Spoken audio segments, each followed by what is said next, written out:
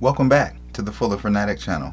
Today, I'm very pleased to say I finally added the Steelcraft series Mini Glimpse. As of late, the Glimpse has intrigued me to the extent of questioning a fully custom Todd Begg USA Glimpse. But of course the six year wait is a bigger pill for me to swallow than the $5,000 asking price. I understand with the extensive work of 40 plus man hours put into every fine little detail, mirror finishes by hand, seamless material transitions with all hand ground and hand rubbed blades.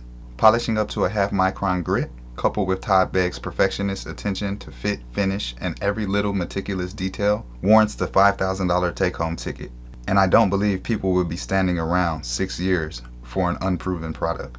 With all that being said, I went with the Steelcraft series momentarily which I believe was created in part to keep up with the daunting and ever-growing demand to own a Todd Begg knife.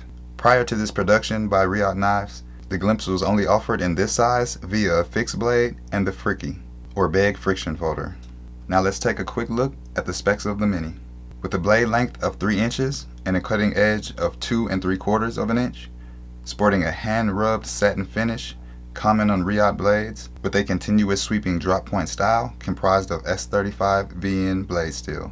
And you can clearly see the different striation direction from the bevel down to the MG's hollow grind and even apparent along the flat, which is where the signature Todd Begg fluted fuller rests.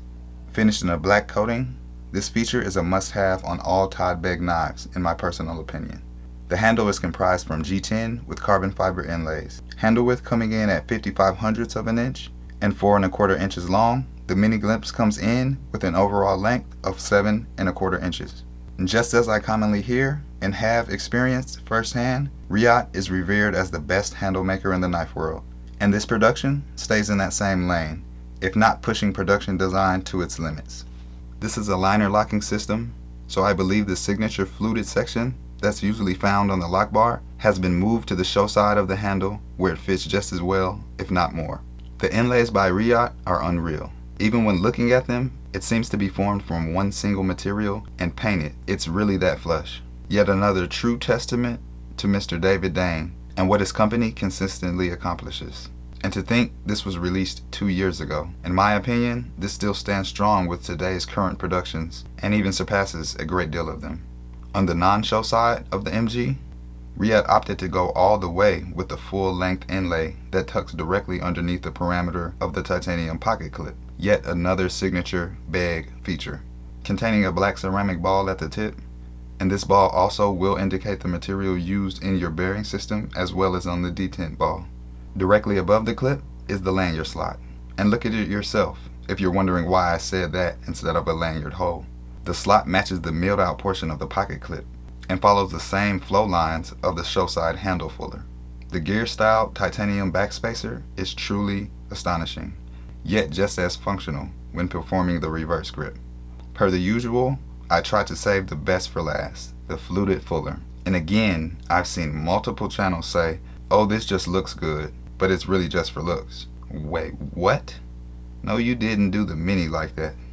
This as well as my full-size bodega have the easiest deploying fullers. Perfectly tuned detent and that lockup is solid. And again, it's Reate action.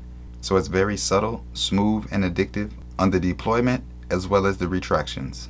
The blade and handle work in tandem to form a standalone look.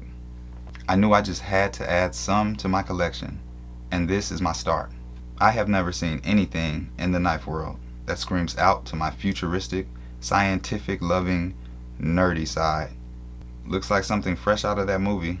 You guys remember Pitch Black? Uh, horrible acting by the way. But yeah, either way, this design is very nice in my opinion. Tell me in the comments below, what are your thoughts on the Todd Begg Steelcraft Series Mini Glimpse by Reate? Also subscribe and hit that notification bell. Please rate and share with all your knife loving friends. Signing off from the Fuller Fanatic.